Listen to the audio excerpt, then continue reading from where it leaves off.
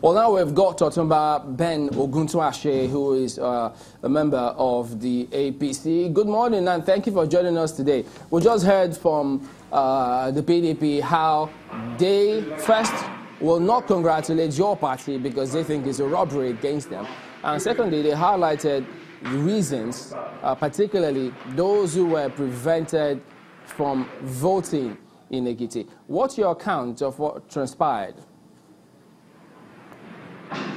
Well, I was there at the at the event. I went to at least eight polling units within my area, and what I found out was that the election was very peaceful, it was very free, it was very fair.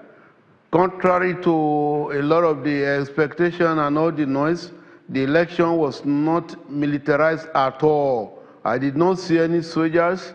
I saw policemen who were doing normal security duties, just watching, and uh, nobody was uh, harassed, nobody was molested, to the best of my knowledge. I think everything was free and fair.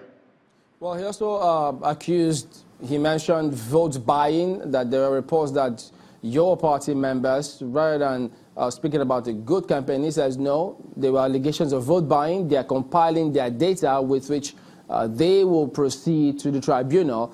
Should you be worried about some of those cases which he's highlighted? Well, I believe that there's a level to, to which our political process has fallen, which is uh, bad. Uh, all of us have to work together to deal with that. And this is a challenge, in my view, for the National Orientation Agency to do something about. If somebody is here making allegation of vote buying, it, it has become a universal tendency in Nigerian political framework. This is what happened in all elections. There is no need we make uh, cries about it. At least where I voted, uh, Ward 2 in, uh, in uh, local government, I saw that uh, the PDP people gave money. In, in fact, one of their principal uh, officers stood there right uh, at the voting place and was sharing money.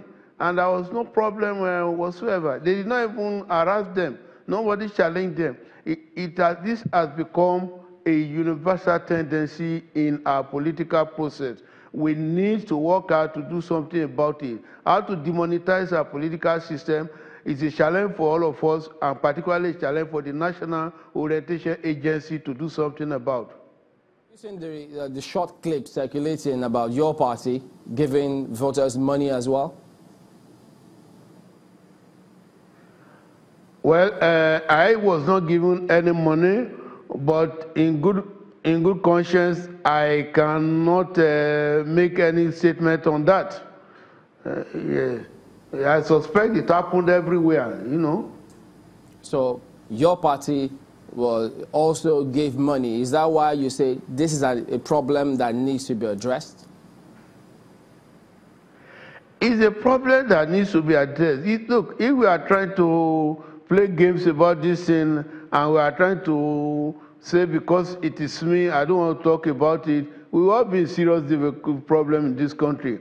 This is what happens in all elections in this country. We do not need to hide uh, about that one. All parties are guilty of that. Uh, yes, it's a, it's a case of uh, if an action is endemic and is universal, I want to believe that consequentially they have been neutralized.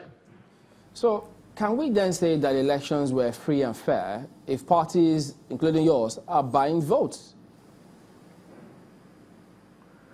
Again, it depends on our concept of what is free and what is fair. But as far as I'm concerned, all those who went to vote were free to take decision and to vote their conscience. Nobody was coerced into who they would vote for. Eh, I voted my conscience. I voted for my party. I voted because I wanted Ekiti State to escape from the from the existing crude form of management and brigandage that was that has been uh, ravaging the land.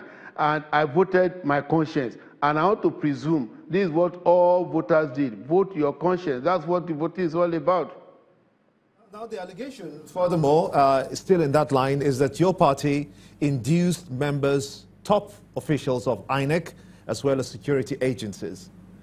How will you protect yourself, uh, for no, instance, in court? I don't believe I don't believe we induce uh, the security agencies or members of uh, INEC. No, I, that, is, that is not true at all. That's not true whatsoever.